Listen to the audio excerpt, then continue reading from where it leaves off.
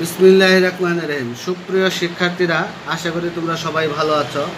আজকে আমি তোমাদের পরিচ্ছেদ চোদ্দ, অর্থাৎ শব্দদিত্য পরিচ্ছেদ নিয়ে আলোচনা করব। আমরা জানি শব্দদি শব্দদিত্যের অপর নাম হচ্ছে দ্বিরুক্ত শব্দ। শব্দদিত্যের অপর নাম হচ্ছে দ্বিরুক্ত শব্দ। ঠিক আছে? তো আমরা জানি অভিন্ন বা সামান্য পরিবর্তিত চেহারায় কোনো শব্দ পর পর দুইবার ব্যবহৃত হলে তাকে শব্দদিত্য বলে।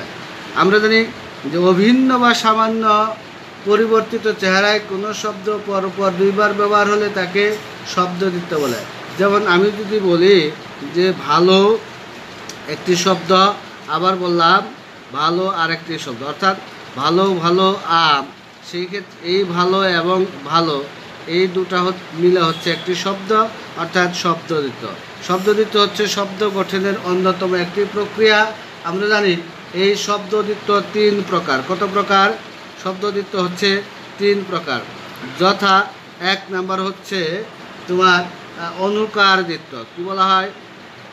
অনুকার দিত্য দুই নাম্বার হচ্ছে ধনাত্মক দিত্য দুই নাম্বার হচ্ছে ধনাত্মক দিত্য তিন নাম্বার হচ্ছে পুনরাবৃত্ত দিত্য পুনরাবৃত্ত দিত্য তো এখন আমি অনুকার দিত্য নিয়ে কথা বলব।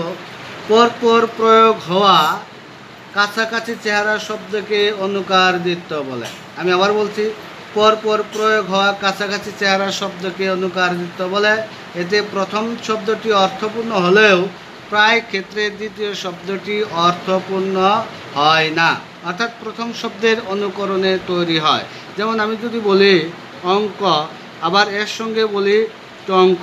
অর্থাৎ অঙ্ক, টঙ্ক। অঙ্ক শব্দটির একটি অর্থ রয়েছে, কিন্তু টঙ্ক শব্দটির কোনো অর্থ নাই।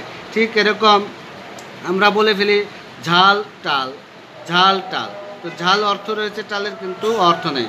এই জন্য এই পরে যে শব্দটি আছে এই শব্দটি আলাদা করে বসানো যায় না। তবে এই ধরনের শব্দের ক্ষেত্রে দ্বিতীয় শব্দের শুরুতে ট, ফ ব ম তালবস্য ধ্বনি যুক্ত হয়ে থাকে। যেমন আমি যদি বলি এখানে খেয়াল করার ব্যাপার সেটা হচ্ছে ঝিকিমিকি। আমি প্রথম শব্দটি বললাম ঝিকি, দ্বিতীয় শব্দটি বললাম ঝিকি মিকি অর্থাৎ এখানে ঝ আর এখানে ম রয়েছে।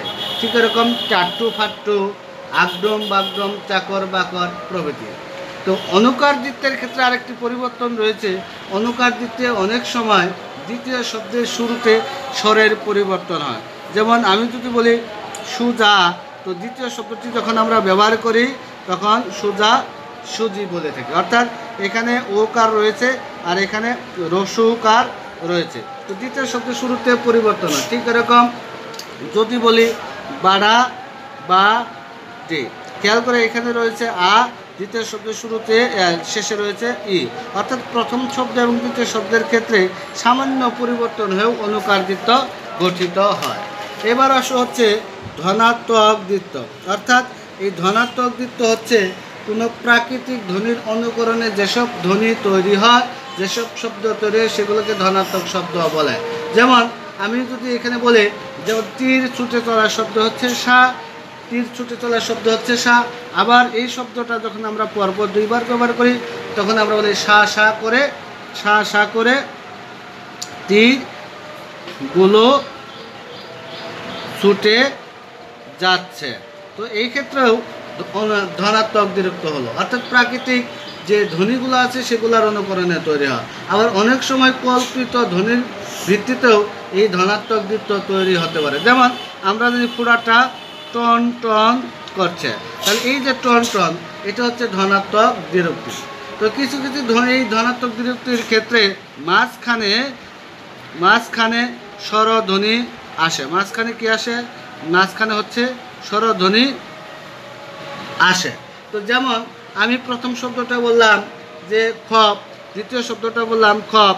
তো এই দুটো শব্দ একসাথে উচ্চারণ করতে অসুবিধা এই কারণে মাঝখানে একটি স্বরধ্বনি যদি দিয়ে দেয় খপা খপ ঠিক এরকম আমরা বলি ফটা ফট, আমরা বলি কি ফটাফট আবার বলি পটা পট। তো এই ক্ষেত্রে অর্থাৎ এই ধনাত্মক দ্বিরুক্তর ক্ষেত্রেও মাঝখানে স্বরে ধ্বনির আগমন ঘটে। এবার হচ্ছে পুনরা বৃত্ত দ্বিত্ব। অর্থাৎ পুনরাবৃত্ত দ্বিত্ব হচ্ছে পুনরায় আবৃত্ত হলে তাকে পুনরাবৃত্ত দ্বিত্ব বলে। অর্থাৎ পুনরাবৃত্ত দিতে বিভক্তি যুক্ত থাকতেও পারে, আবার বিভক্তি ছাড়াও হতে পারে। যেমন, আমি যদি বলি জ্বর, যে শব্দটা প্রথম ব্যবহার করলাম জ্বর, পরের শব্দটাও ঠিক একই রকম জ্বর। এখন যদি বলি আমার জ্বর জ্বর লাগছে, যদি বলি আমার জ্বর জ্বর লাগছে, তাহলে আসলে ঠিক জ্বর আসেনি, জ্বরের যে ভাবটি রয়েছে সেটা। এক্ষেত্রে বিভক্তিহীন রয়েছে। কি রয়েছে? বিভক্তিহীন রয়েছে। বিভক্তিহীনের ক্ষেত্রে যেমন আমি বললাম ভালো, আবার বললাম ভালো। ঠিক এরকম বললাম কত, আবার বললাম কত। তাহলে ভালো ভালো আম কত কত কথা হতে পারে। আবার বিভক্তি যুক্ত যদি হয় বিভক্তি যুক্ত বিভক্তিযুক্ত হতে পারে পুনরাবৃত্ত। যেমন বললাম কথায় কথায় কথায় কথায়।